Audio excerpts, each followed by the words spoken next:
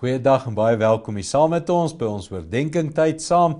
Ons is hier in Johannes 8 besig om die woorde van Jesus baie persoonlik te maak. Al is dit harde woorde wat hy met die Fariseërs het. Hoor vandag se gedeelte Johannes 8:49. Hy sê Jesus het geantwoord: Ek het nie 'n bose gees nie en ek eer my Vader, maar julle oneer of onteer my. Wat hier gebeur het is die fariseërs het sê hy doen hierdie wonderwerke deur die bose. Die bose geeste help hom. En dan sê Jesus nee, is nie bose geeste nie. Ek luister net na die Vader, maar julle wil dit nie so aanvaar nie. Ek dink hier's twee goed belangrik. Eerstens, ek en jy wat maklik oordeel vel, né? Nee? Daai ou doen wat hy doen deur die bose of uh ou nik help hom of al sulke goed, jy weet, ons het mos maar 'n manier hoe ons ander mense oordeel. En ons moet stadiger oordeel. Dis wat Jesus hier ons leer. Moenie moenie so vinnig 'n opinie vel oor mense nie. Moenie so vinnig besluit daai ou is goed of daai ou sleg of daai ou kan nie of dit of dat. En dan die ander ding waarna ons moet kyk is Jesus.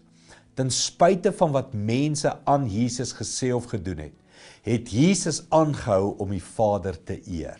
Dis 'n groot uitdaging, né? Nee. As mense jou begin beledig, as mense jou motiewe aanvat, as jy betrokke is in kerk en jy kry kritiek, as jy betrokke is in mense se lewens en jy gee en jy doen, jy gaan altyd kritiek trek. Jesus het kritiek getrek, verskriklike kritiek. Hulle het hom beskryf dat hy boos is. Jesus kom besluit het genoeg is genoeg, ek gaan dit nie verder doen nie. Maar hy sê ek sal aanhou die Vader eer. Hoekom besluit jy dit nie ook? Ten spyte van kritiek, ten spyte van hoe mense jou beledig en beskinder en sleg sê, Ek luister na die Vader en ek sal altyd die Vader se wil eerste stel.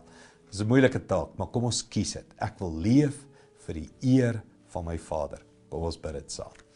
Hemelse Vader, ons maak mense so maklik seer met ons wonde. Ons oordeel, ons spreek dinge oor hulle, ons ons sê dom goed vir hulle.